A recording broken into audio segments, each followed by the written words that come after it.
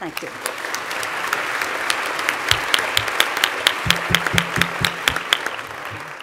I'd like to thank Intelligence Squared for inviting me to participate in this debate, addressing the motion that Western liberal democracy would be bad for China.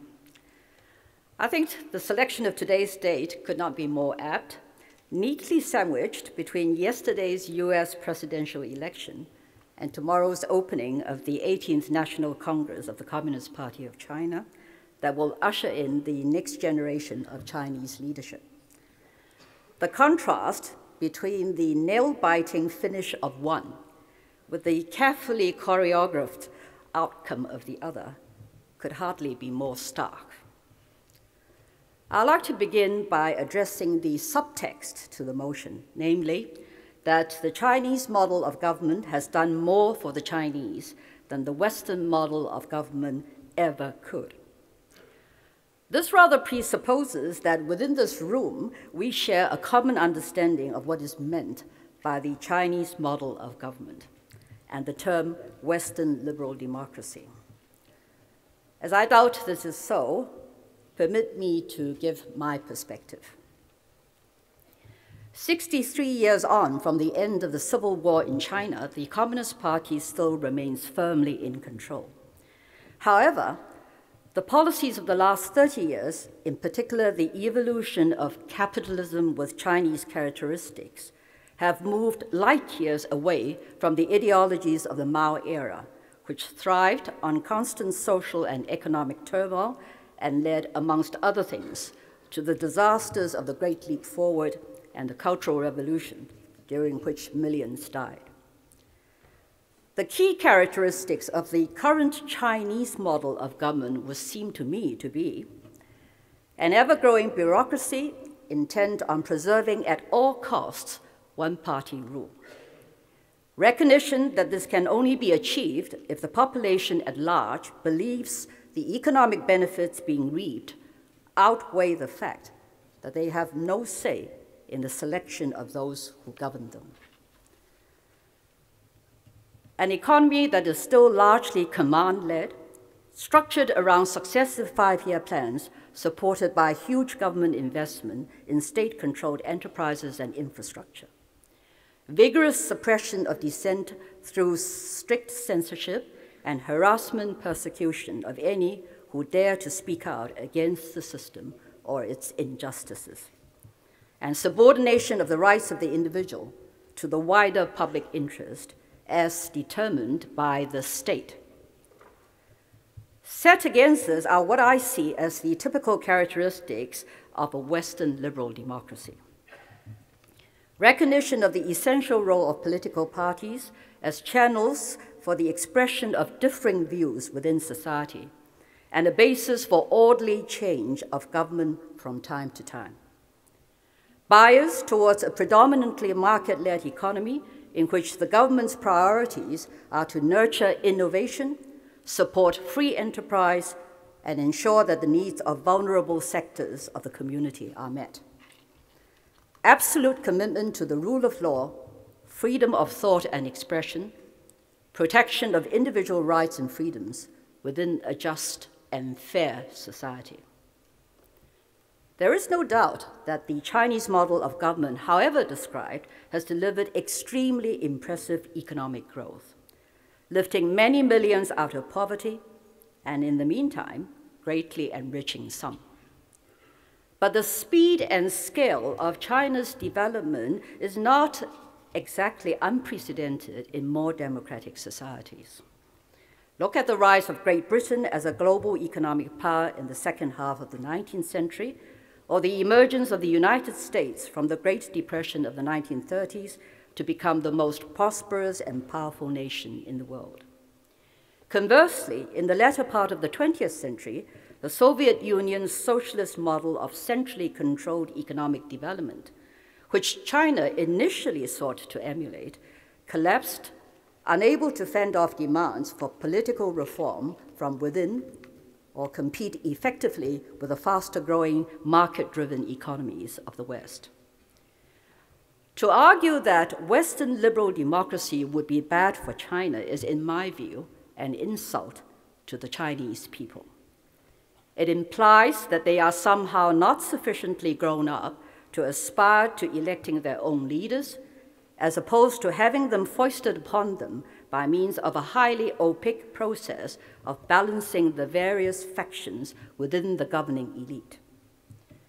Furthermore, anyone who argues that Western liberal democracy would be bad for China must also be prepared to acknowledge the perils that the nation faces if it doesn't begin to take some genuine steps in the direction of political reform. All around the world, previously unshakable authoritarian regimes are being challenged and overthrown. No wonder China is keeping a nervous eye on developments in North Africa and the Middle East. It took the self immolation of just one persecuted street vendor to trigger revolution in Tunisia. In Tibet and Sichuan, the tally of self immolations has risen to nearly 60 since 2009 and shows no sign of abating.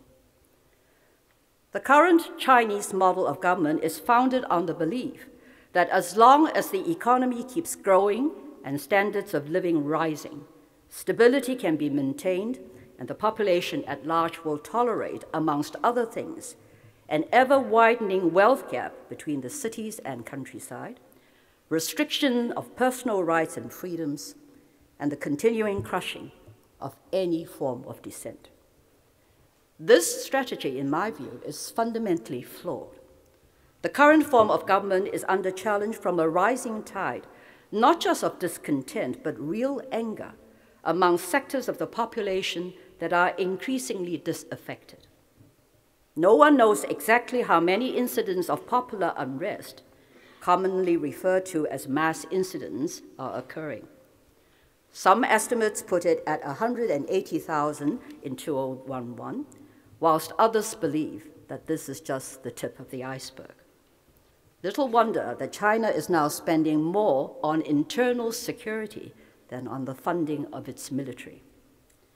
Popular anger and increasingly bold resistance to government authorities is being fueled by forced land acquisitions, arbitrary land grabs by provincial officials, often to make way for totally unnecessary development, empty high rises and shopping malls, roads to nowhere. The collapse of shoddily constructed schools in the 2008 Sichuan earthquake, tainted baby milk, and other food safety scandals, environmental degradation have led and are leading to unprecedented confrontations between ordinary citizens and the government. Still, all too often, instead of acknowledging shortcomings and responding to justified concerns, the authorities' reaction is to punish the protesters for disturbing social harmony. Corruption is now rife at every level of the Chinese political machine. Power is concentrated in the hands of a privileged clique, perhaps no more than 400 families, who are bound by a common purpose to protect their mutual vested interests and capacity for self enrichment. The communist vision of proletarian supremacy within an egalitarian state has been subsumed by greed and injustice, exemplified by the often shameless flaunting by party cadres of ill gotten wealth and a culture of impunity from moral and even criminal culpability. No one wants to see China go the way of the Soviet Union in the aftermath of its disintegration. The gains that China has made in the past three decades are far too precious to put at risk. In an age when the dissemination of information via the internet and the blogosphere is unstoppable, to continue to try and stifle dissatisfaction and dissent is about as futile as King Canute's legendary attempt to stop the tide coming in. Current abuses of power and the pervading lack of transparency and accountability simply will not be tolerated indefinitely. Everywhere in the world, the need for change is the mantra. Rather than waiting for popular unrest to force change, China's leaders should now be actively planning for an orderly relaxation of its iron grip on political power and a move towards greater openness and participatory politics. My conclusion The central government needs a new model that it can nail its colors to. Back in the late 1970s and early 1980s, Hong Kong played a crucial role in kickstarting China's economic revolution. Under Deng Xiaoping's open door policy, special economic zones were established on the border with or in close proximity to Hong Kong, with the express purpose of inducing Hong Kong industrialists to move their manufacturing operations across the border, where land and labor were so much cheaper. This marked the start of how southern China morphed into the factory of the world, piggy-banking on Hong Kong investment that provided employment for millions of migrant workers and provided the formula to attract wider foreign investment. The Hong Kong economic model clearly worked. And I believe that the Chinese central government can and should look to Hong Kong to test a new model of more democratic government that could be extended progressively into the mainland.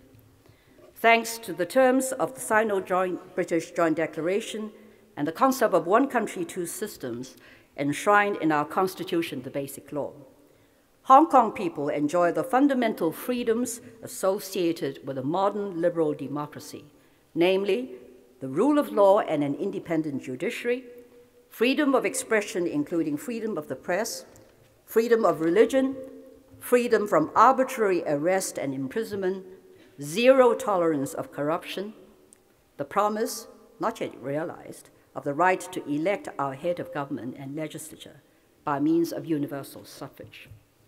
Far from being bad for China, it is essential that the coming leadership in Beijing begin to draw up a blueprint for reform that provides Chinese people, through a process of evolution, not revolution, with the fundamental rights and freedoms associated with liberal democratic government. There are plenty of studies to confirm the link between rising levels of economic well being and the openness of the political system. A democratically based system of governance will not only sustain China's long term economic growth, but will also enrich Chinese society and the world at large. And the perils of not doing so are becoming increasingly acute. So, ladies and gentlemen, I beg to oppose the motion before you this evening. Thank you.